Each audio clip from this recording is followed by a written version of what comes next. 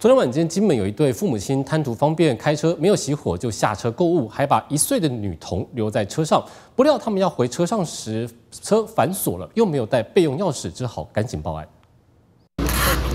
消防员紧急到场，抓紧时间，在车窗贴上黄色胶带，因为有女童正受苦车内。还有消防员在另一侧车门不敢松懈，持续分散女童的注意力，因为。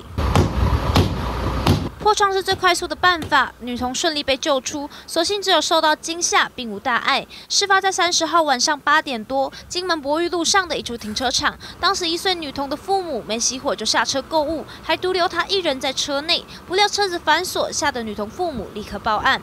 消防和女童父母沟通，选择执行破窗作业，过程迅速、安全，结束一场虚惊。先用胶带防止玻璃的碎件，再使用敲棒。